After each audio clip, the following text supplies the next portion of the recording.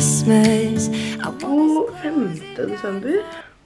Jeg skal, det er snart, ja, cirka en og en halv time til jeg skal til frisøren. Så det blir veldig deilig. Og ja, men først så må vi åpne opp kalenderen. Jeg glemte helt den skrapkalenderen, men jeg synes det er så, ja, vi tar den en annen dag. Denne her. Her er den. Det er en kamomille eh, Gentle Eye Makeup Remover. Jeg elsker de her. Så da er jeg egentlig klar for å dra. Vise kjapt hva jeg har på meg. Jeg har på denne kåpa som er fra Junkyard. Denne longsleeven-tingen fra Dickies. Disse kortfløyelbuksene fra... Ah, jeg husker ikke merket, men de har kjøpt på Junkyard. Og rumpetaska mi fra The North Face. Denne videoen her blir i samarbeid med Tango frisørkjede, siden jeg skal jo ned til Tango Foyn nå og fikse håret mitt, og det er da min frisør. Min samarbeidsfrisør. Jeg linker nettsiden deres der nede til Tango frisør, og så skal vi bare se hva vi skal finne på i dag.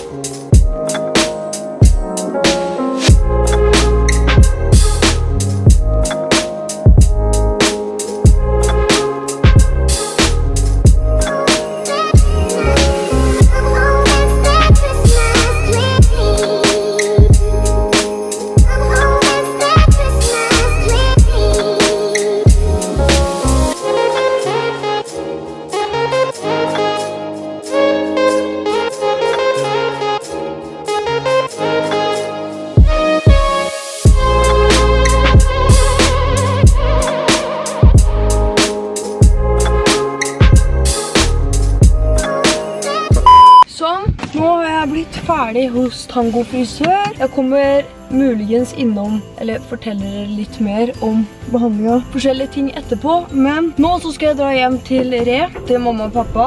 Og så skal jeg egentlig spise middag der, og kanskje prøve å få litt julestemning. Kommer ikke til å skje. Kan forsøke for det. For et grusomt lys. Så vi snakkes når jeg er i Re. Hvor skal du? Bilde av hvem i Reavisa? Hei. Hallo. Hallo, hei. Hei, Blokkmus! Jeg heter Vloggen. Hei, hei. Hei, bloggen! Nå er jeg hos mamma og pappa. Eh, sitter på badet, for her er det best lys. Men jeg tenkte bare å vise dere ordentlig håret og snakke litt om det til dere som synes det er interessant. For det første nå så ble det jo veldig mye lenger. Altså, så langt hår. Puppen min stopper her, og håret går liksom Åh. Så vi satte inn en blanding av de jeg hadde fra før og litt lengre extensions. Og så bleika vi jo etterveksten, helbleika etterveksten, fordi jeg har jo noe helbleika hår. Det er litt forskjellige. Vi har brukt glossing, som betyr at extension-håret og mitt eget hår reagerer litt forskjellig på det i starten. Men det kommer til å vaske seg til, og jeg synes egentlig det bare ser kjempebra ut. Det er bare litt kaldere i tuppene her, men jeg har ikke noe mot det. Jeg elsker jo alt som har med kaldt og grått hår å gjøre. Så jeg vil bare snakke litt om Tango frisør, fordi Tango frisør har jo mange forskjellige butikker eller salonger over hele Norge, men mest i Vestfold og Telemark. Alle disse salongene går på samme kurs og opplæring, så de er veldig sammenkjørte på det. Så hvis dere eksempel vil ha eh, sånt hår som jeg har, så er det å gå til hvem som helst tangofrisør og spørre om det.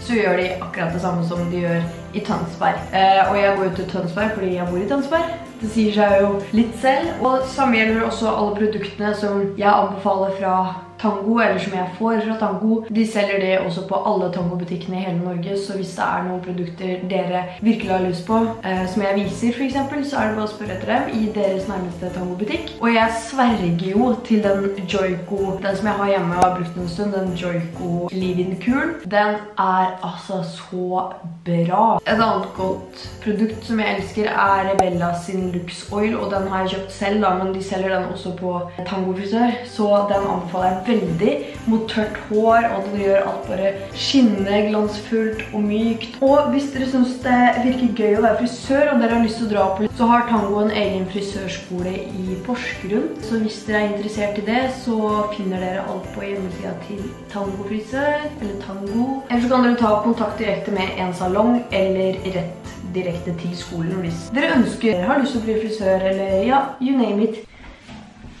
Jeg har jo fått med meg to produkter hjem fra Tango.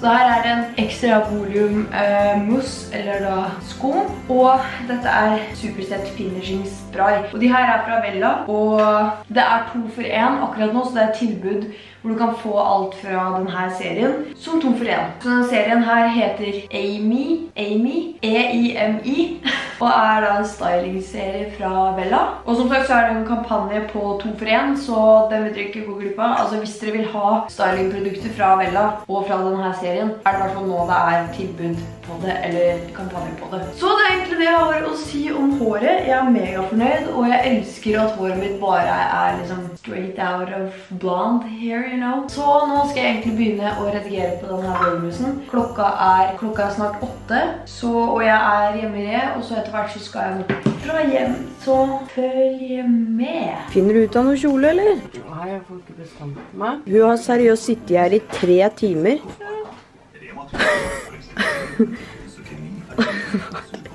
Skal du finne kjole, skjønner du. Det tar jo fem år. Nei. I mutteren. Du snakker med bestemor. Hei, hei. Hei, det er Amalie. Nei. Jeg trodde tennene mine var rene. Nei, nei, nei. Nå har jeg kommet hjem, og klokka er kvart på 11. Og nå må jeg egentlig bare pakke, fordi i morgen så skal jeg til Oslo. Jeg skal bo hos venninna mi Milda, som dere alle vet. Hun morsomme vennen min. Hun som er mye penere enn meg og har humor. Så jeg skal være i Oslo frem til søndag. Jeg skal være i Oslo frem til søndag, og fordi vi skal ha den displayaksjonen i helga. Så da må jeg pakke litt. Det er egentlig dritkjedelig for dere å se på, men jeg drar jo veldig mye til Oslo hele tiden og sover der og sånn, så... Jeg har ikke fått vist så veldig mye av hva jeg pakket med greia med meg. Er det at når jeg pakker, så pakker jeg så jævlig mye klær.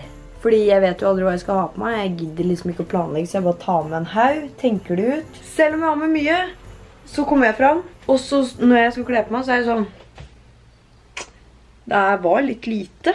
En ting jeg tenkte å informere om, er det er veldig mange som har spurt om hvor den pysjen her er fra. Silkepysjen min. Og den er fra Bubble Room, og hvis dere går på highlights på Instagramen min, så har jeg linka til det, hvis det er flere igjen. Ah, snykt. Så skal jeg bare gjøre meg klar til å legge meg, og så skal jeg egentlig bare redigere og legge meg. Og nå går p-pilla-alarm, som betyr at vi ses i morgen. ha det.